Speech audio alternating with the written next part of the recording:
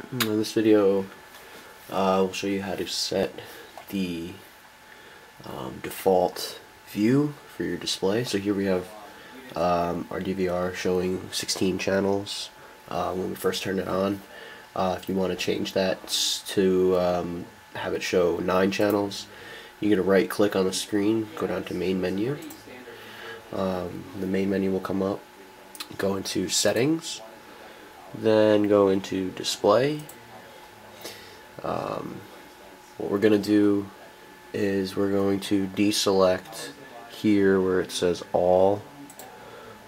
Um, and we're going to enable Tour and we're going to select view 9 1 um, interval we're going to leave at 5 seconds for now. Uh, we're going to click save and what that is going to do is um, after 5 seconds um, the DVR will automatically default back to the 9 camera view.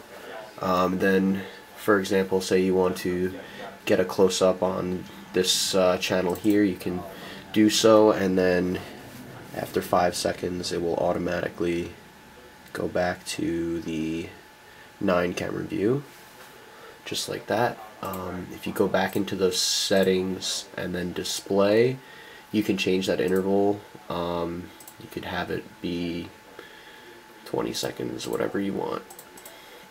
We'll just leave it at 5 for now. Um, so we're going to leave that and save.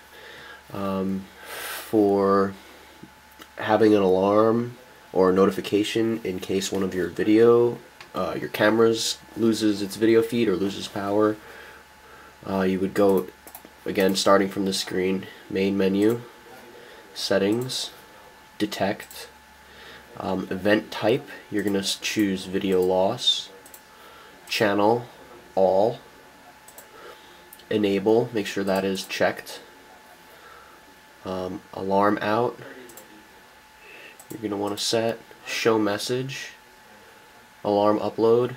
If you have your email, um, if you have your email notification set up for the DVR, you can check that and then it will send you an email letting you know.